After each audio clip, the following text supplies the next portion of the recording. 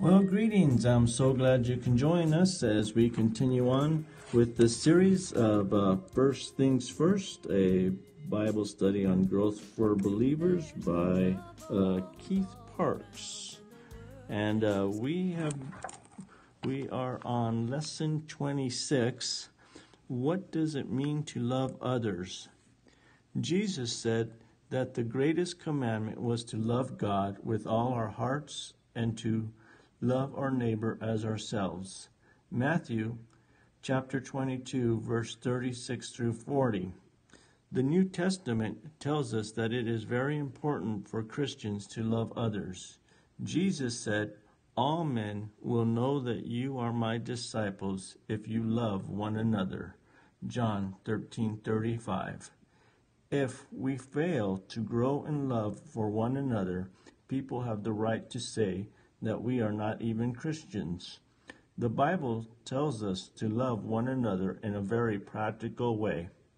Once a religious teacher asked Jesus what it meant to love his neighbor. Jesus replied by telling the parable of the Good Samaritan. This parable teaches us that to love our neighbor means we must meet the needs of people we encounter in life. We must give them a helping hand in whatever way we can, even if it costs us something. Another important part of loving others is that we must be willing to forgive those who hurt us. Paul wrote to the Colossians, Therefore, as God's chosen people, holy and dearly beloved, clothe yourselves with compassion, kindness, humility, gentleness, and patience. Bear with each other and forgive whatever grievances you may have against one another. Forgive as the Lord forgave you. Colossians chapter 3 verses 12 and 13. We must also be willing to forgive because God has forgiven us so freely and fully.